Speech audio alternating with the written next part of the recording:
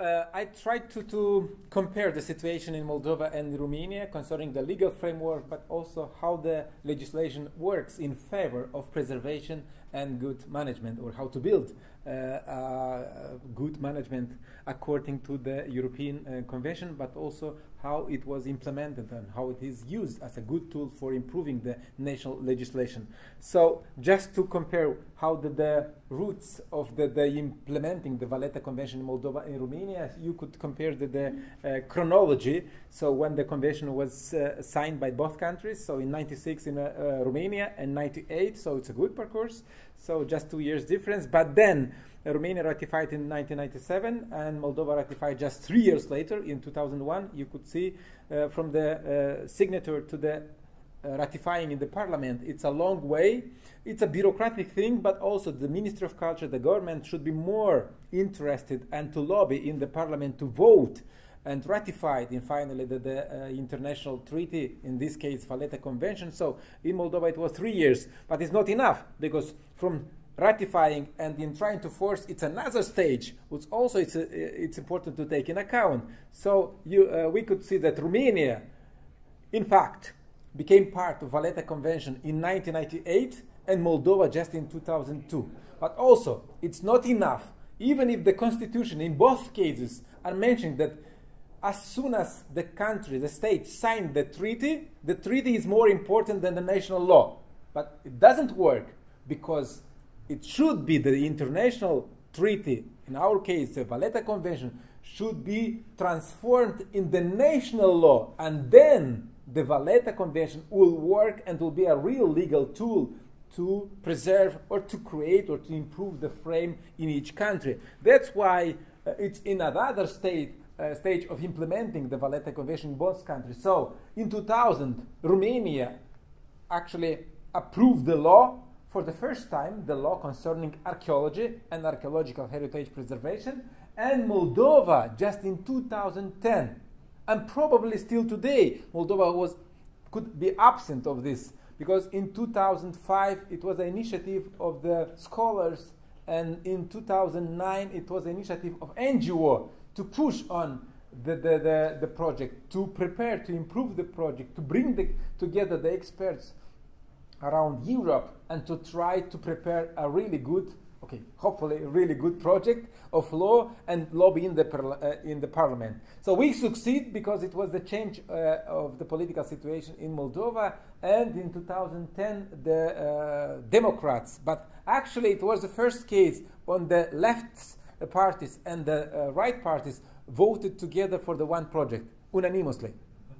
So you could see it's a good example when the heritage or archaeological heritage could bring together different parties together uh, and, and vote and support. So also it's not enough.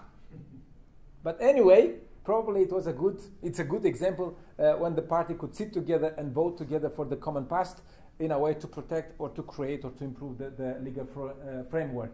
So uh, in Romania, in Moldova, we have many similarities, not, not just the language is common, and the history is common, but also we have also the structure, the management. So the ministry, uh, I think it's centralized, more or less.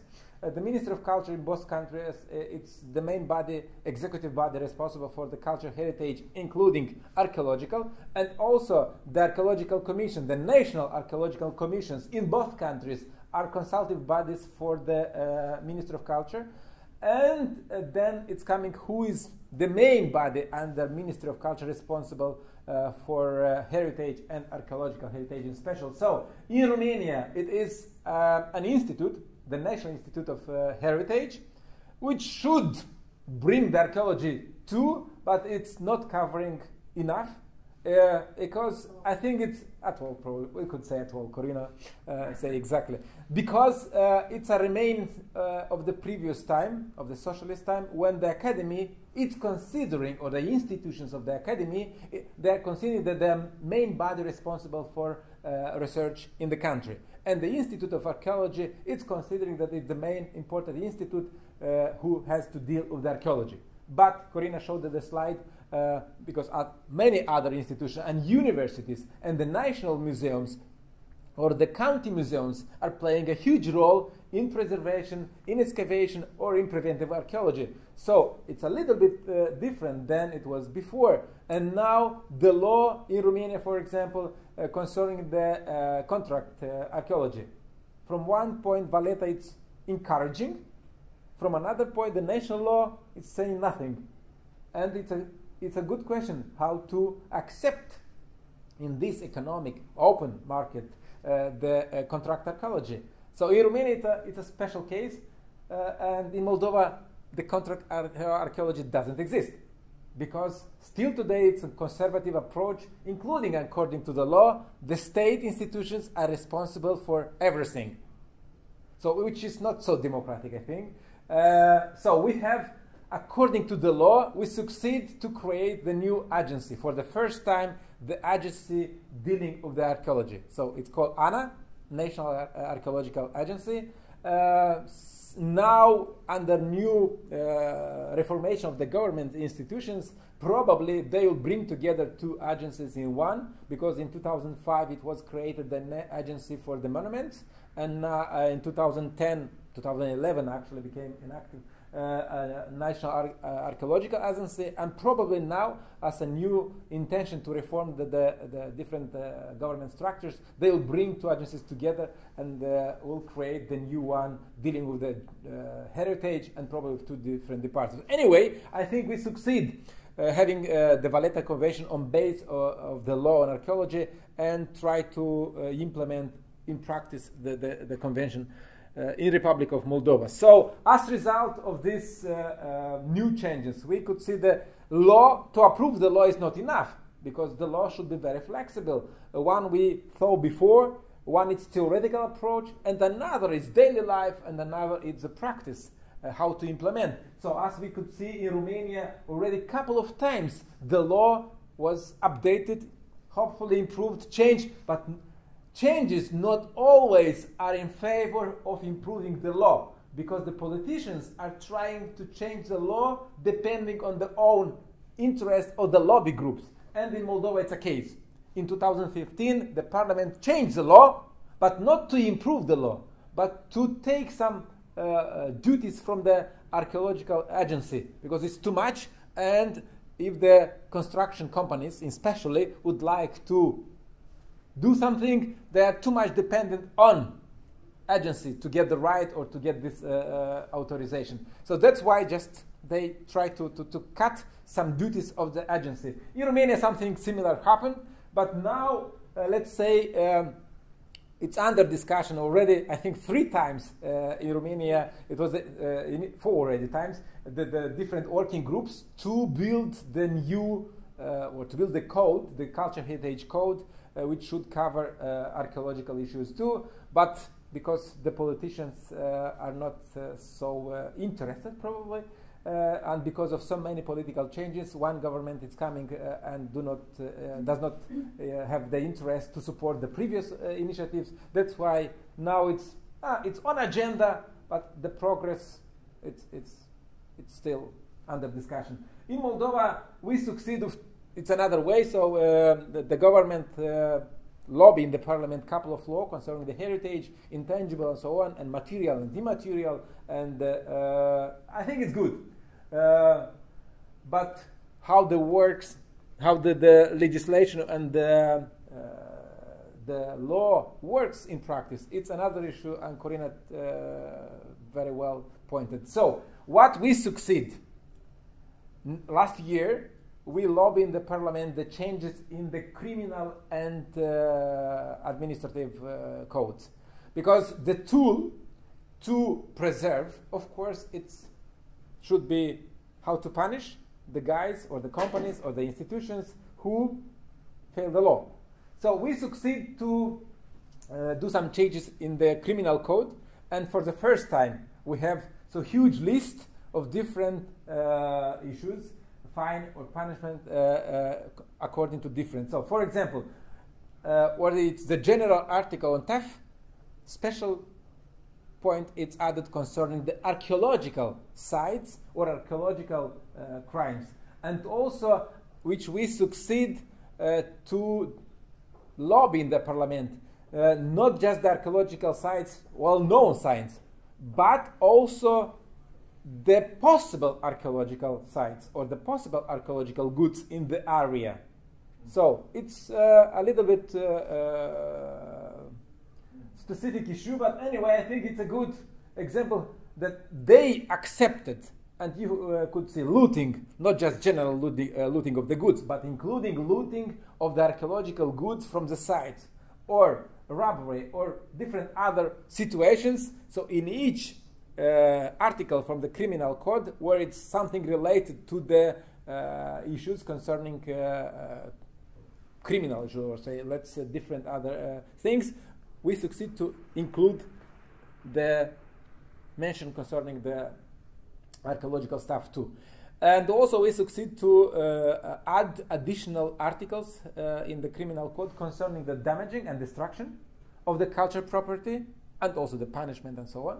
And conducting unauthorized, uh, uh without any authorization uh, of activities in, uh, especially this is against construction and the companies which are they're trying to do a lot of things without any things concerning archaeology and preservation, and also um, uh, sailing uh, and uh, so trying to, to, to fight against illegal traffic and sale of archaeological goods or cultural goods in general and uh, also the issue concerning the metal detector. We try to uh, take the Romanian experience. So it's generally it's prohibited without authorization, but now the, the, the mechanism itself, how to implement it's, it's not developed. Unofficially in Moldova, which is a very small country, we have more than 2,000 users of the metal detectors, of course, illegally. And the, the, the, the problem is a huge one. And the question when it was discussing how to, to, to prevent and how to, to work and who is responsible, it, it's a very specific one. So this is another uh, changes in the contravention code. Uh, in Romania, for example, uh, they didn't change the criminal code. It's just under the general law. If it's looting or something else, it's nothing mentioned uh, about the culture goods or archaeological goods. And in Romania, mostly uh, the policy are using the, the contravention code and contravention uh, issues. So we succeed to, to change this code too. And you could see just few examples if it's uh, the, the regime of protection was break by, by some uh, person uh, or by some company, they should be, of course, um, fine between. It's not so huge one, but anyway, according to the Moldovan economic realities, I think it's enough. Uh, uh, this is the question how to implement these uh, legal issues. So, the responsible bodies who are responsible for issues concerning the preservation from the management but also if something illegal it was accounted, who is responsible to uh, to deal with such questions?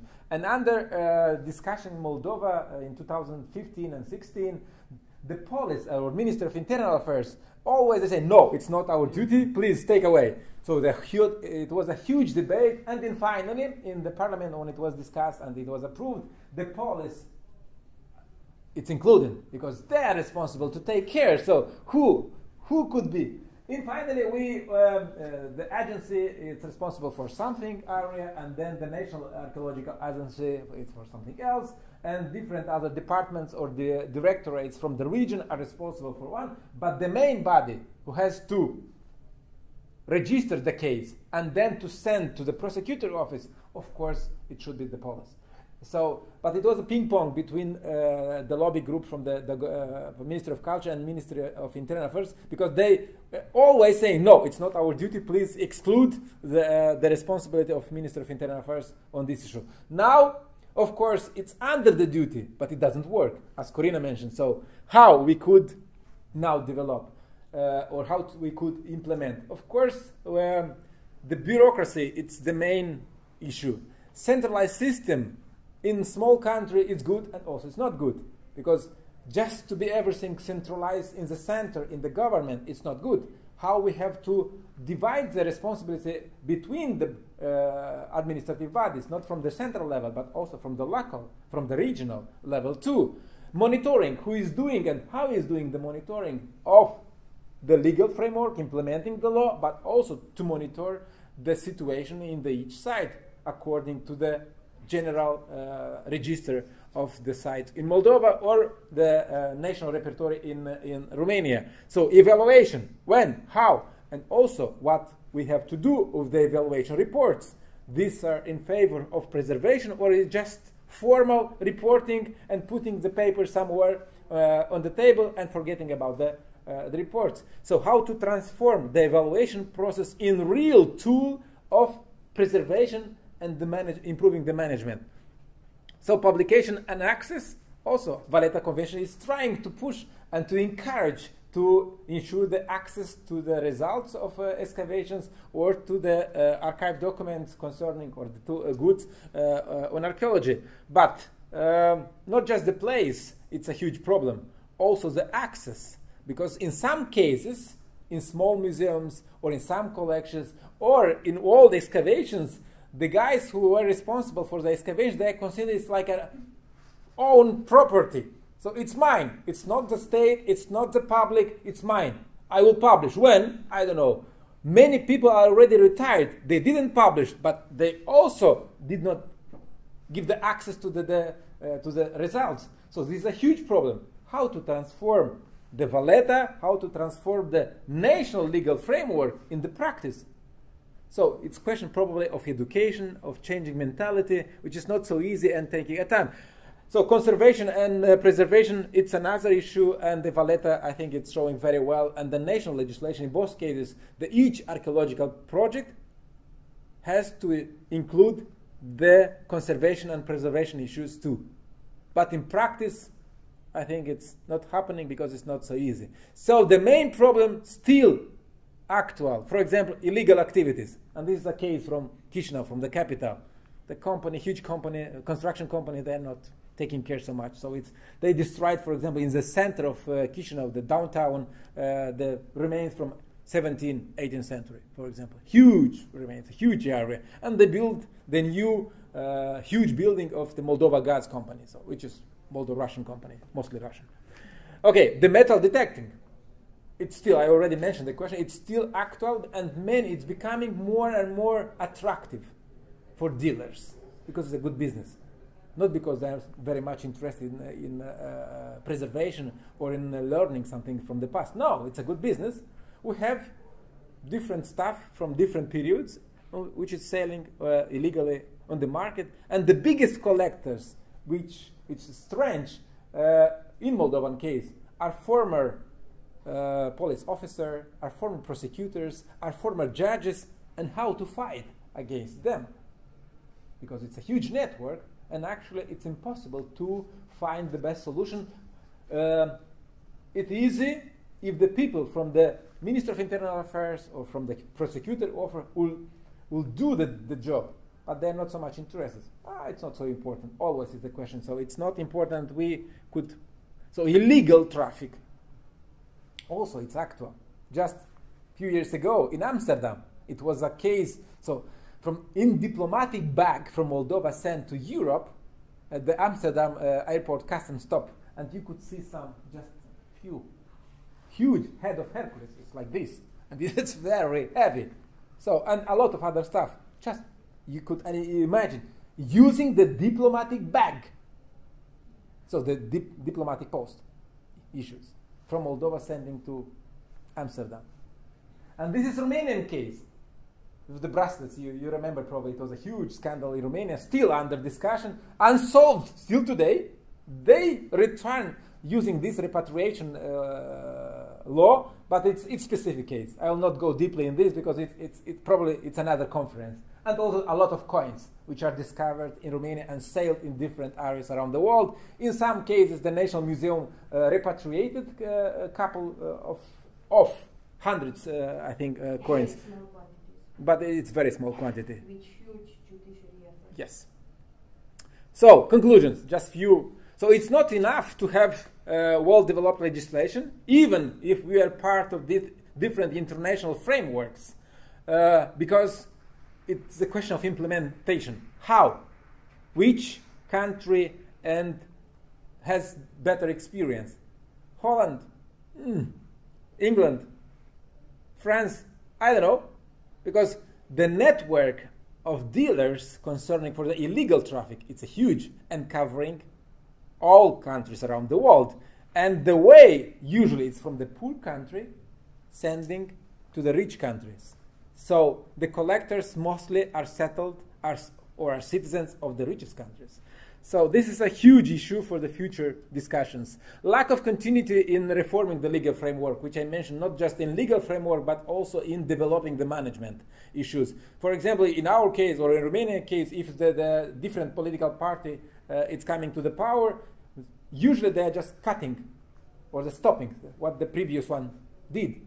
It's not good. We will change, and that's why uh, in Romania, for example, they didn't finish the good databases, which started four or five databases, and no one is finished. Just stopped. Okay, it's impossible to finish, but to raise, to develop them, they started a good job, and actually at the half of the stage they stopped because no money, another government, the, the, the administrative changes, one institute uh, was uh, included in another one. So the continuity of reforming, I think it's, it's a way of success and doing uh, real reforms and doing a real job in, in our uh, area of heritage. Lack of efficient communication, and you mentioned very well, okay, so I'll not stop here because your case, even in Austria, in small city, it's impossible to understand each other. Why? Also the interest, economic issues, business issues, and also ownership and others, I think, political things too. So probably the state bodies, but the state bodies are people, are citizens. And always I'm asking myself, people who are doing politics, they also were in the kindergarten, in the school, in the university, they are between us. And when they are becoming important political guys, they're not hearing, they're not understanding, they're not dealing really uh, with the cultural heritage issues. Just few of them around Europe, and you, we could find good examples. But in general, politicians are not so much interested, even if they decided at the European level to declare next year a European Year of Heritage. It's good, but it's not enough. Because heritage is part of our daily life. Heritage, it's every year, everywhere. It's not just occasionally of something. It's important that will stress probably attention around Europe to, uh, to deal with the heritage and to try to share more experience. And Valletta Convention encouraging uh, to share the experience, to communicate, to use best practices, and try to help each other. Probably by this way, we could succeed in the near future and to uh, improve the management of archaeological resources, not just in Europe, but probably around the world. So I'll stop here. Thank you so much for your attention, and we have time to discuss.